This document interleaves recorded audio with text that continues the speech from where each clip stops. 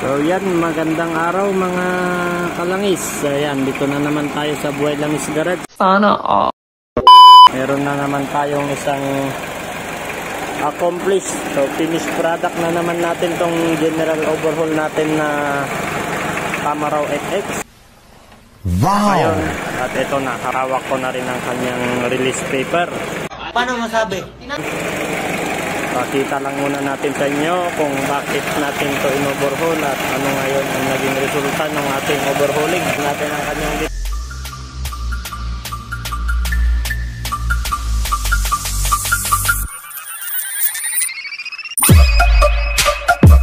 yung kanyang alternator. mga linya ng kanyang turbo. Dati na po yan na may turbo na pinakabit na yan na ganyan na nabili niya. Itong tubo na lang po yung binago natin. Sure gauge. Ayan, pagpapansinin po natin, pag magpapaandar po tayo eh, mamamatay po yung gauge na yan.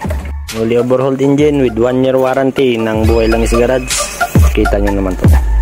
Pag interesado po kayo, naghahanap ng FX, pwede nyo pong i-contact yung Facebook natin. Pasyalan nyo lang po kami dito sa Buhay Langis Garage, Betag.